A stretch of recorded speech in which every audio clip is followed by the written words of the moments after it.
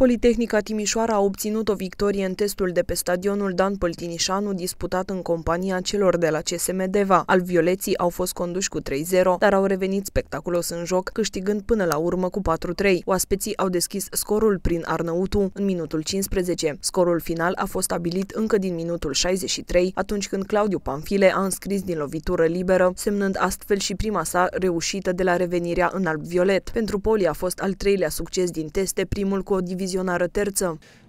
Da, un meci cu o echipă foarte bună, o echipă solidă. Uh, și astăzi au fost, din păcate, multe întreruperi, multe, multe fauturi, dar v-am zis, terenul pe care jucăm, din păcate, nu e în cele mai bune condiții.